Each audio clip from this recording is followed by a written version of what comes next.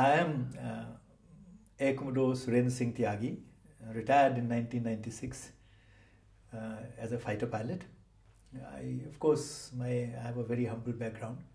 My father, though, was in the army, but I basically belong to a farming family of West UP in Muzaffarnagar.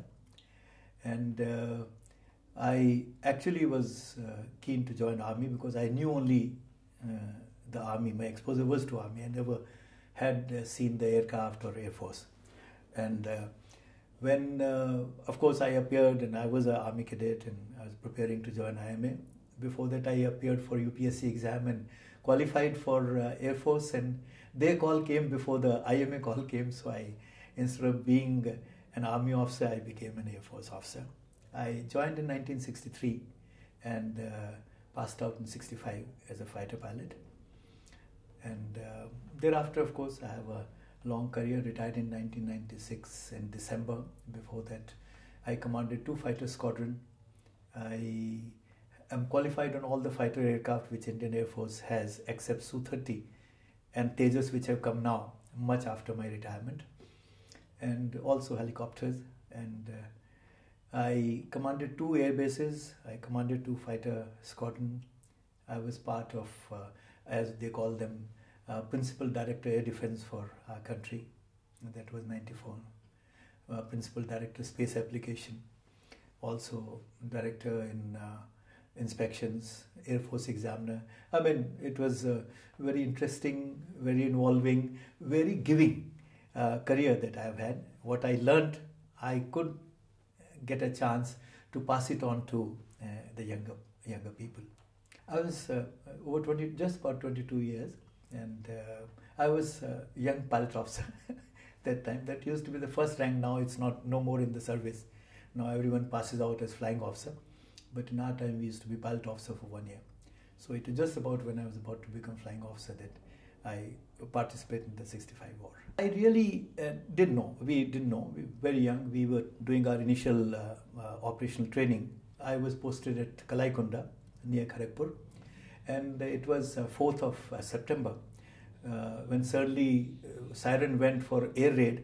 So all of us charged into bunkers, and we were sitting in the bunkers when I got a message. Somebody came and the NC came and tagged me. He said, "आपको साहब ने बुलाया flight commander साहब ने," and I was told that you get prepared. You have to move out. Uh, just now aircraft is coming. You have to go to the west. So I went to my tents, which we used to live those days. I went to tent, packed up few things, my overall and uh, khaki uniform, skirt uniform we used to wear those days, cotton. Used to look very good, and. Uh, and uh, I packed and came in an hour and hour and a half when Dakota landed. I uh, hopped into the Dakota and we took off. And uh, then by evening, in fact, it was near night when we reached Delhi. And thereafter, for the night, I went home. I said because by this time I knew that I was I was going to be participating in war somewhere, but where I had no idea. So I said, let me go and meet mom and dad तो मैं माता जी और पिताजी से मिलने मेरठ चला गया मेरठ का रहना था दिल्ली से वहाँ गया वहाँ रात में मिला सुबह सुबह पिताजी ने कार में बैठा के वापस छोड़ दिया दिन निकलने से पहले हमें जो है जहाज़ में पैकेट जहाज़ में बैठा के और टेक ऑफ़ हो गया सुबह ही सुबह। तो बड़े नीचे जा रहे थे हम लोग बड़े पेड़ बड़े बड़े दिख रहे थे खिड़की में। तो हमने पूछा भाई इतने नीचे क्यों जा रहे थे कहा नहीं इसलिए कि बस लड़ाई होने ही वाली है। तो आ, हम लोग ऊपर नहीं जा सकते जिससे उनका रेडार हमें ना देख सके। From there we did know where we going but when we landed we got to know कि हम लोग पठानकोट पे लैंड किए। वहाँ पे I was attach to a tac tactical air centre which is uh, which support the army core headquarters में based hote hain they support the army for air support what the army's requirement is for close air support we call it तो उनके जो हमारे commander थे group captain Banerjee और दूसरे थे wing commander Bhasin known as famously known as Johnny Bhasin he was first batch of MiG twenty one very famous flyer he retired as vice chief उन्होंने brief करा और फिर गाड़ियों में बैठा के हमें रोड से we reach Jammu by this time it was night and वहाँ पे कालू चक जम्मू से पहले जगह थी वहाँ पे we were attach to number one corps and they attach to one of the div 6 Mountain Day from there to 6 9 Mountain Brigade. And uh, by night, I think 7:38, we were put into a GL sections jeep uh, with the captain Saab, who was the GLO, uh, and uh, we started driving. The whole convoy was moving very silently. I was wondering where we were going. I had no clue where we were going. And uh, we were on the way. We were handed over a a pack in the newspaper which had puris and alus and I तो हाथ में आते ही मेरे को तो भूख लग गई आई सेड कब खोलेंगे कब रुकेंगे उन्होंने कहा नहीं नहीं नहीं ऐसे नहीं खाना एक जगह हॉल्ट होगा डिनर हॉल्ट होगा तो फिर some time I don't know what time it was may be about nine ish dinner halt हुआ so we all ate are and I really enjoy those आलू पूरी and uh, pani पी के फिर car अपने जीपों में बैठ गए और गाड़ियों में। Then we went and then we stopped at some place um, it was spread out to place and that was the rear line the form up uh, uh, area. And the battalions with nine mountain brigade were three battalions participating in this offensive. One was uh, 9 Kumaon 4th madras and 3rd madras. All three in this area path i got to know next morning when we reached there was Maharajki famous battle. Because it was very well dug in and protected area by Pakistanis, and they knew that we are coming so they'd anticipated, they had all the arms and uh, uh, requisite uh, logistics to ensure that they could sustain a defensive location for a long time. But I must uh, mention here, uh, or maybe a little later, that at 11, dead 11, I remember the time when the corps arty started opening and the whole horizon was lit up with the uh, explosions of artillery guns, heavy artillery guns, which were going over our head, and you could hear the round go uh, over you, and then falling over about a kilometer ahead of us, where the actual defensive position was uh, there. Basically, that was the area to suppress their head and let our uh, troops move in to a location from where they could go into offensive charge. And after I think 15 or 17 minutes, the whole thing came to a halt.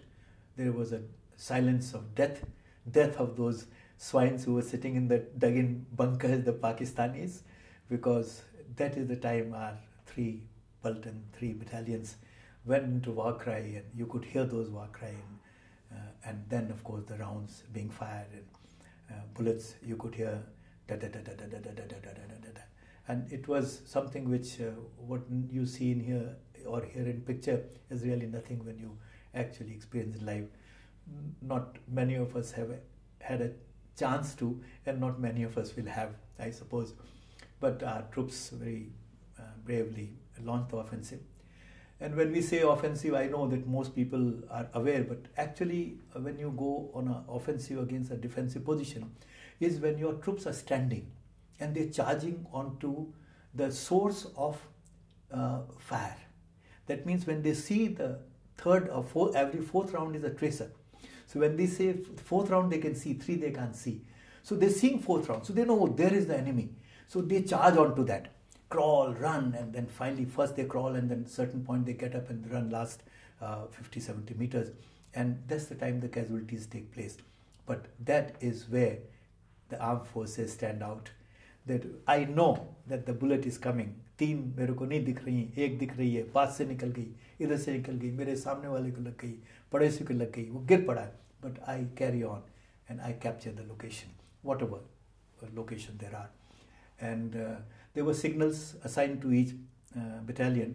We found out about two, two and a half hours. Uh, we got the signal from 9 Kumaon that they have achieved their uh, target, uh, the aim. Then other third came. Fourth, of course, suffered very large casualties because they think they were very well dug in and was a difficult little target. So we lost a very large number of troops, including CO and many officers and very large number of men.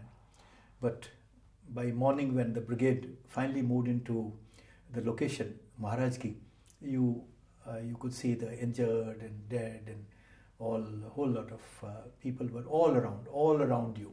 I mean, uh, even no picture can depict that reality, really, because the people uh, you know, in pain, they were suffering. You could hear their pain cry.